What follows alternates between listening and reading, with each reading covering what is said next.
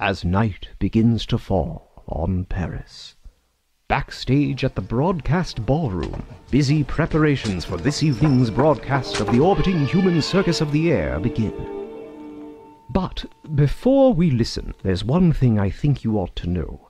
You'll remember last week, seeking forgiveness, the janitor snuck backstage to clean host John Cameron's dressing room as the last song of the evening played. And that music, and this is what I really wanted to tell you, was performed by the Orbiting Human Circus Orchestral, a rare African bird that can mimic all 47 instruments of the orchestra at once. The orchestral is something of a Parisian Bigfoot, believed only to land where orchestras are rehearsing. Many people claim to have seen them, but one has never been filmed or recorded. Yet, there one was, perched in its cage, on the stage, in full view of the entire studio audience, beautifully mimicking a waltz. With no visible strings or wires. Even the stage hands don't know how it's done. And it's that way with all the acts. With that thought, we take you back to last week in host John Cameron's dressing room, where the janitor cleans with greater and greater enthusiasm until. Look out! In his exuberance, the janitor accidentally knocks a small crate marked for Mr. Cameron's eyes only exclamation point off the table. Out of it spills several tiny tomes of sheet music and some bird seed. Suddenly the door opens, and in sneaks stagehand Jacques, guiltily starting to light a cigarette. Kid, I'm supposed to throw you out on your ass. I won't tell Tisha you were smoking. You wouldn't. I won't if you let me finish cleaning. Cleaning? This place is a wreck. Look at that on the floor. Oh, whoa. Look at that crate. Is that what the bird came in? Yeah. Hey, let me see that. Whoa, look at this. I just gotta know how this bird works. I was I was thinking it's gotta be a robot. It's not a robot. What's this white stuff? Oh, it's not a robot. It's not a robot. Ugh. Here's paper towel. All right, so what do I got here?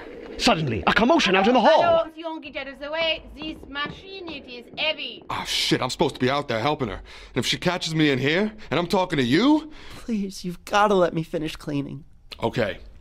But you get me in trouble, I'm gonna break your legs. Meanwhile, at home, the listeners sat back and listened to this. Hi everyone, this is Christy Gressman, and on behalf of the entire Orbiting Human Circus, I'd like to welcome you to this episode and let you know that you can come visit your friends, the janitor, the narrator, and the orchestra live and walk into the world of the Orbiting Human Circus. The Orbiting Human Circus will be on tour in the US this May and June, so visit orbitinghumancircus.com slash shows to see when there will be a show near you. Tickets are on sale right now. And thanks to our sponsor, the Tribeca Film Festival. The Tribeca Film Festival begins on April 19th and runs through April 30th, and features an eclectic lineup of thought provoking talks and documentary film screenings. For more details, go to tribecafilm.com. That's tribecafilm.com. And now, please sit back and enjoy this episode.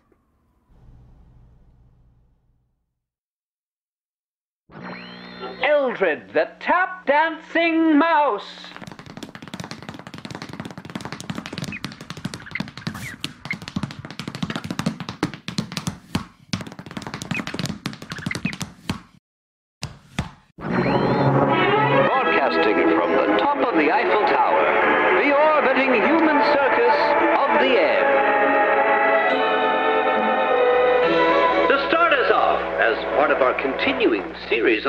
On influence of Judaism on rock and roll, we give you this 1921 recording by Cantor Moshe Leibowitz, clearly an influence on the song Surrender by popular singing group Cheap Trick decades later.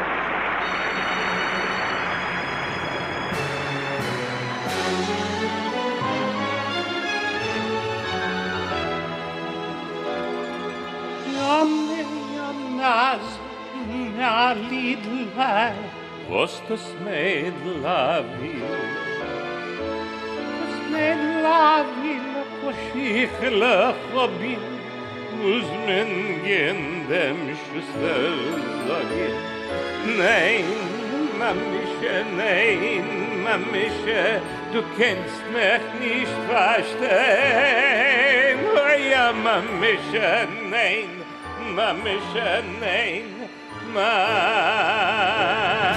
komm mit Aleva, komm mit Aleva,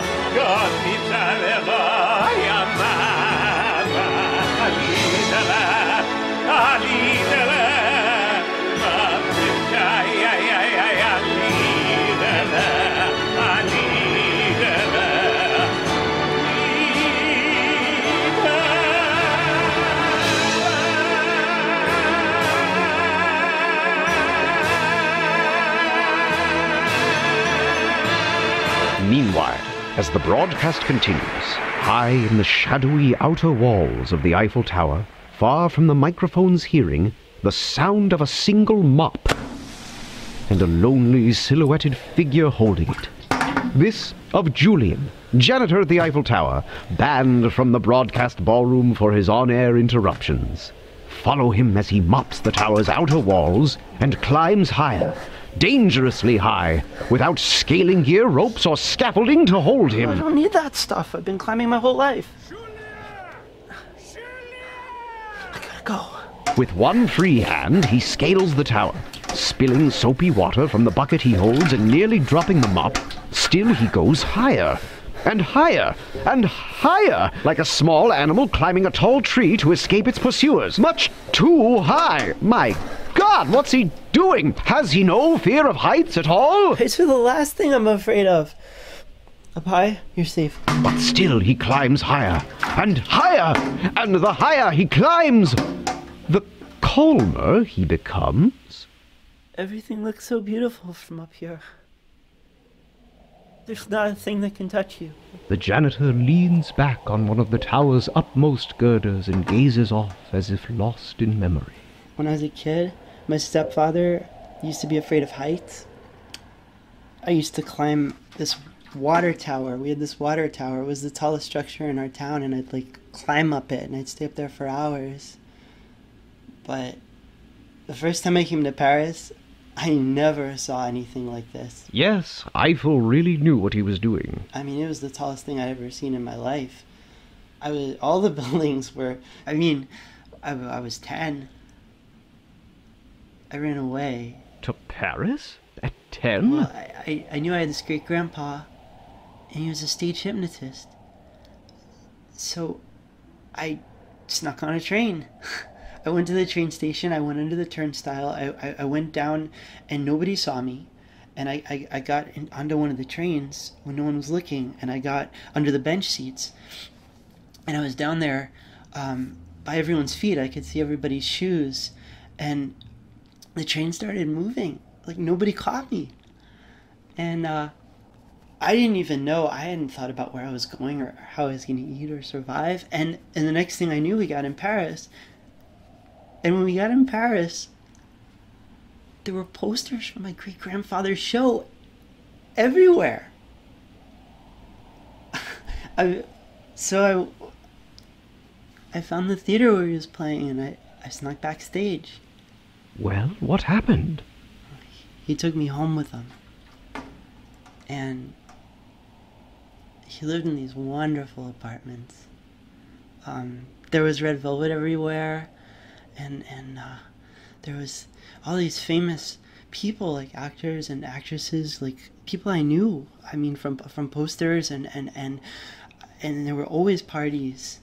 Um, and my great grandpa was just handsome and, and elegant and, and oh my god. And i remember i remember some nights he even forgot to feed me. Like he didn't know he didn't know how to take care of kids but i, I didn't care. I i mean he forgot that i had to go to school. He never thought about that um, which was amazing. Um, i i just wanted to be near him. Sounds like he was very special. there was this one time I was in his I was in his office and I was hiding. He didn't know I was watching him.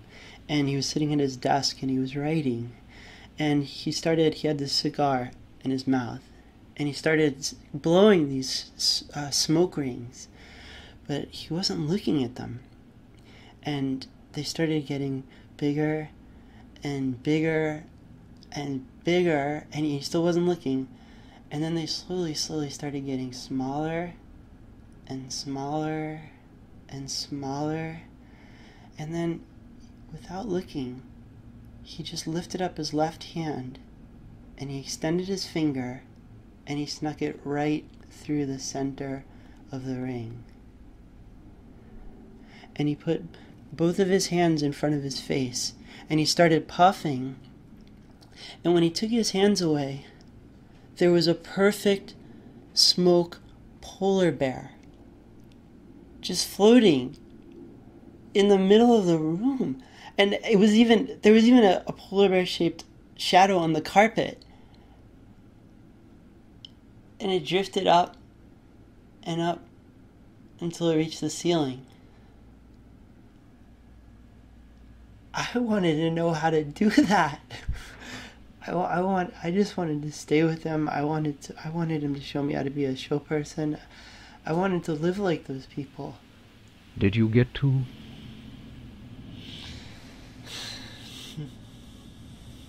No. The janitor takes his bucket, looks down at the glowing lights of the city far below, and begins to mop. Meanwhile, below, in Paris, people gather round their radios. You see, there's a rumor that something unusual, something quite unprecedented, is going to happen on the orbiting human circus. It's going to happen during the feature presentation. You know, the strange story that ends each episode, which all Paris waits for? What's going to happen? Well, all Paris is going to have to wait to find out. But I can show you.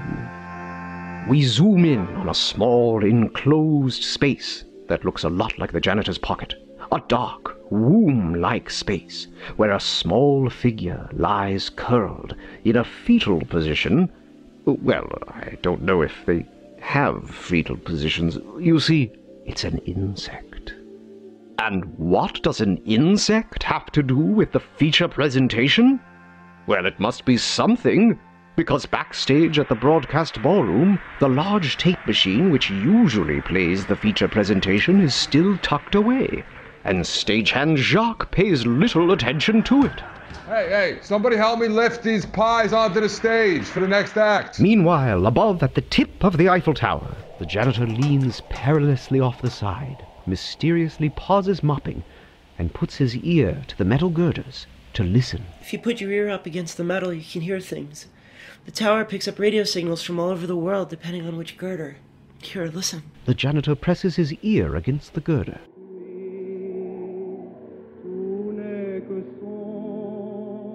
Or listen over here.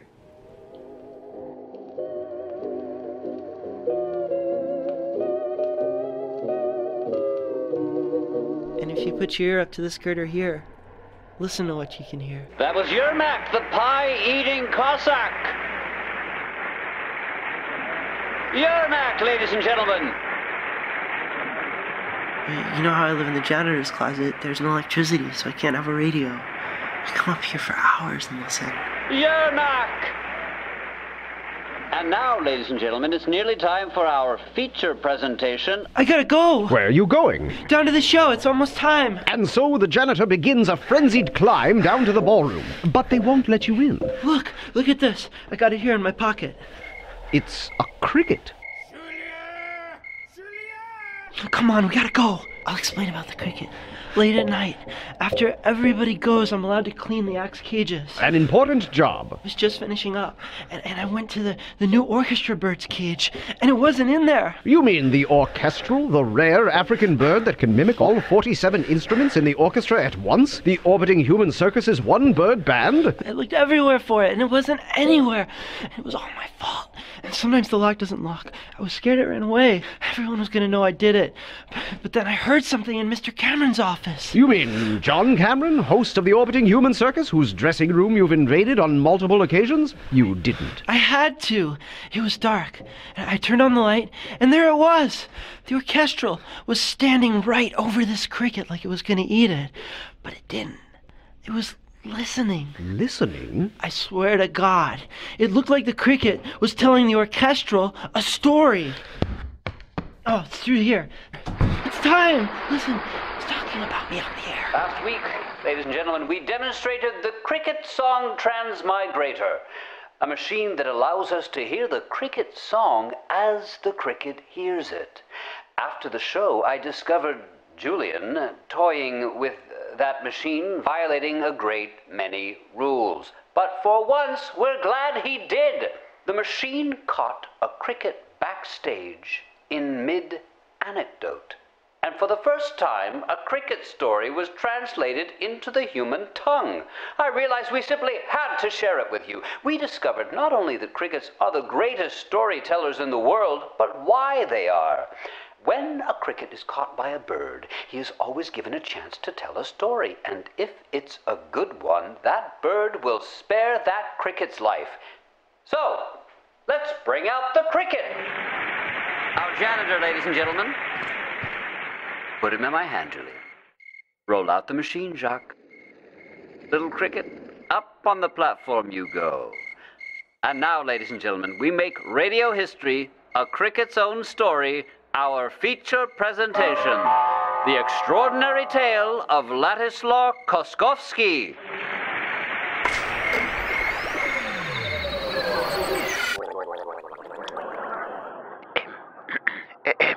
Hello, ladies and gentlemen. It is we crickets who see what no one else does.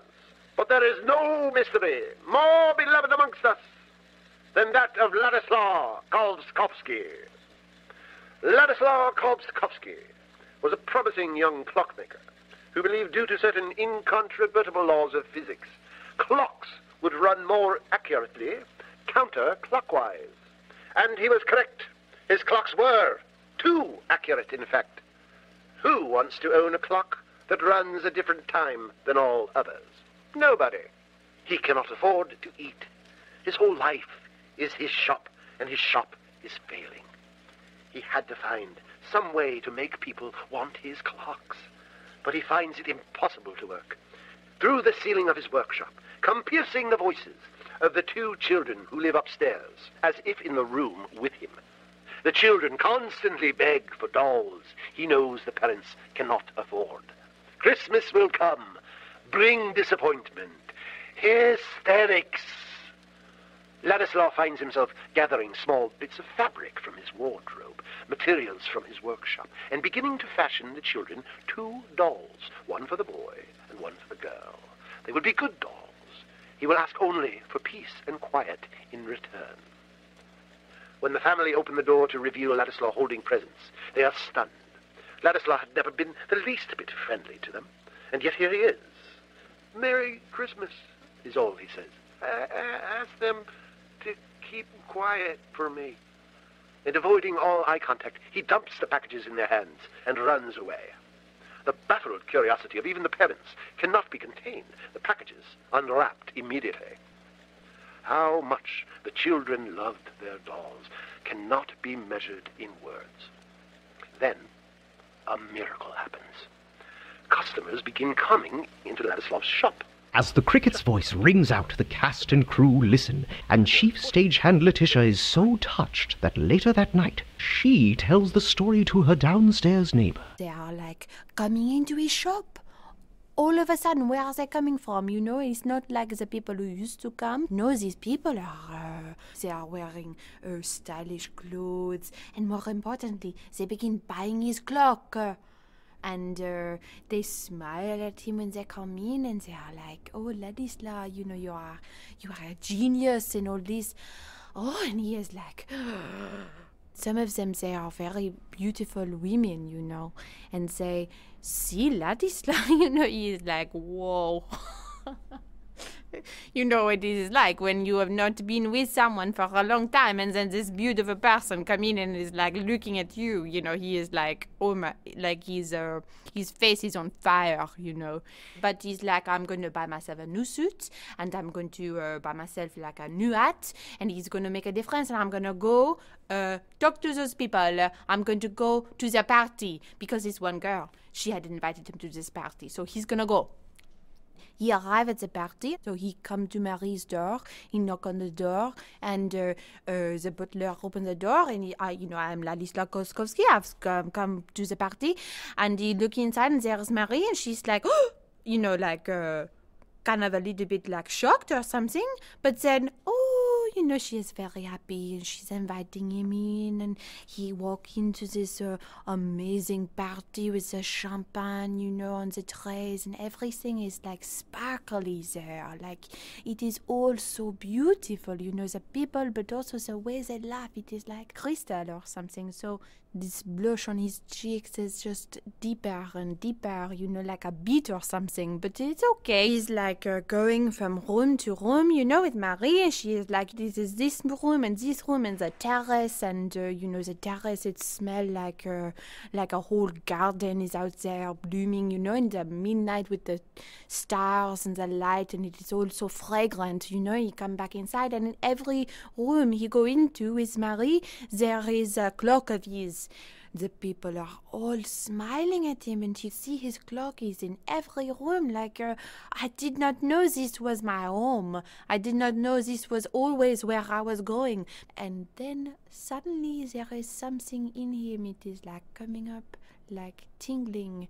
What is this feeling? It is like rising and rising and rising, rising. What is this? It is in his throat and out of his mouth, and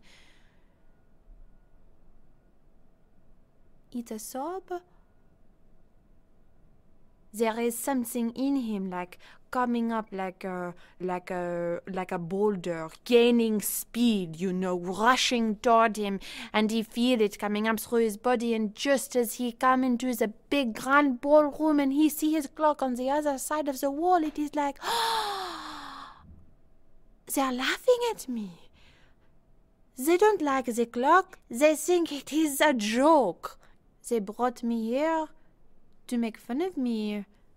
And he cannot control the pain and the rage. It is like uh, pours out over him and through him, and it is rushing over like the whole ballroom, like uh, like the snow just, just you know, like like he is like a like a doorway through which uh, winter comes rushing. And uh, he is crying on the carpet and uh, making a scene and just like uh, cannot move, like uh, frozen to the floor. They ask the butler. The butler, you know, he comes. Uh, everyone's a little bit nervous, you know, because there is this crying uh, clockmaker on the floor, and they pick him up and uh, they kick him out because, you know, they're they're going to clean up this mess on the carpet now. And stagehand Jacques tells it to his elderly aunt. So listen, that night he smashes all the clocks. He smashes his own prized possession. He takes, you know, his his his little squeaker clock, the one that goes off in the morning, and he fucking hurls it across the room. Smash. He takes his grandfather clock, he pushes it down the stairs. It tumbles, it tumbles, it tumbles, and crack at the bottom. All right? He's just chucking them everywhere. It's hitting the ceiling, you know. One of them, you know, crashes out the fucking window. It's unbelievable. Like, like this guy is so pissed off. Everybody's waking up in town. You know, the neighbors, the people upstairs. He hurls one. It smacks against his fucking plumbing. You hear water coming out. It's crazy. This guy's going crazy. So then, they hear like a shuddering of the doors. Here's the thing. After all that, he never came out.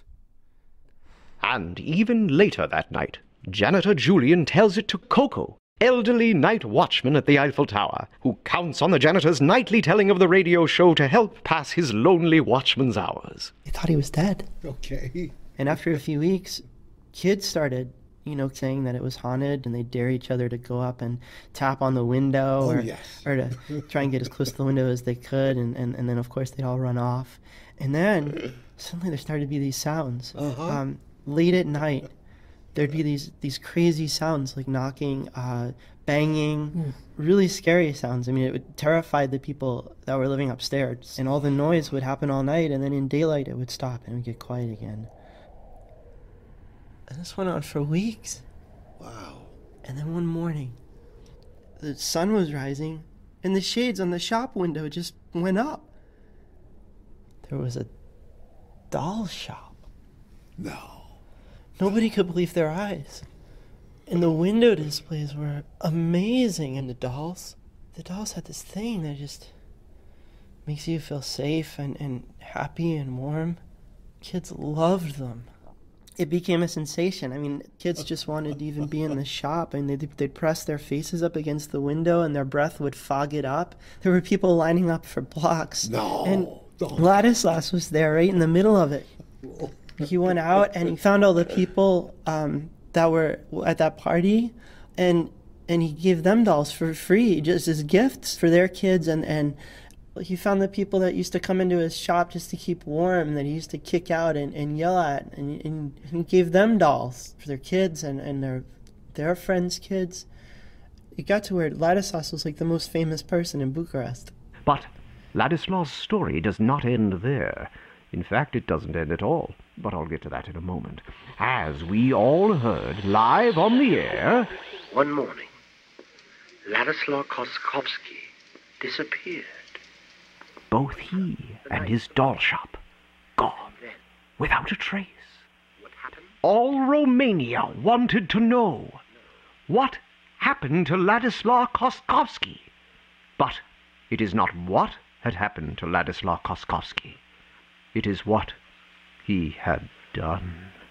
On every doll he had created, there was hidden a, a tiny catch.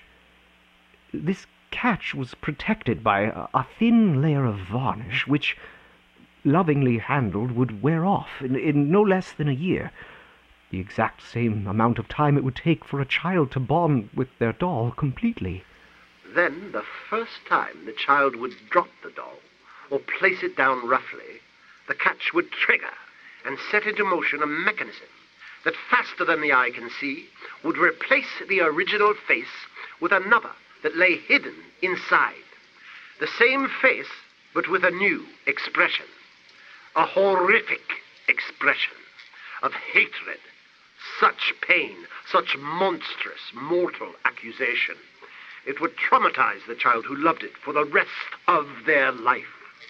For their dolly turned to them now hideous with pain, Ladislaw's pain. With bitterness, Ladislaw's bitterness. With hatred, Ladislaw's hatred. To fill the dreams of the children of Bucharest with nightmares to last a lifetime. And once the faces had changed, the mechanism would lock forever. No one would know how it happened. Only the horror it produced. And so, But the story went no further, because though stagehand Jacques, chief stagehand Letitia, and our janitor Julian all thought it was a good story, there was one key member of our cast who did not. Which will become increasingly apparent in just a moment as. Look out! The orchestral escapes its cage and lunges at the cricket, who, abandoning the story, skitters off with the bird in hot pursuit, and the janitor dashing madly close behind. The orchestra's gotten out of its cage! Oh my god! I didn't lock it! I didn't lock it! Oh my god, I'm so sorry, I'm so sorry! Good Lord, save that cricket! Good Lord, he'll eat him alive! I've grown very fond of that cricket. What? Make the orchestral play the end music. And the orchestral does begin to play the music while chasing the cricket, while being chased by the janitor round and round in dizzying circles. And that's it for this week. Tune in next week when our safely returned cricket will continue his story. Broadcasting from the top of the Eiffel Tower, the orbiting human circus wishes you a good night.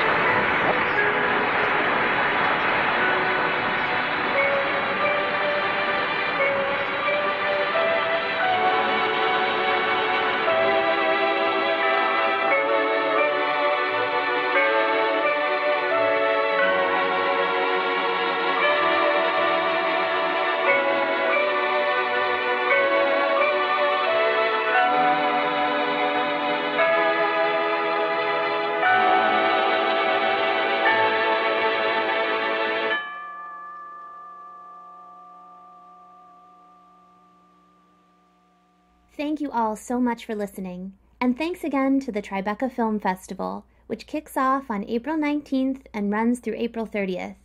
In its 16 years, the Tribeca Film Festival has become one of the country's foremost documentary film destinations.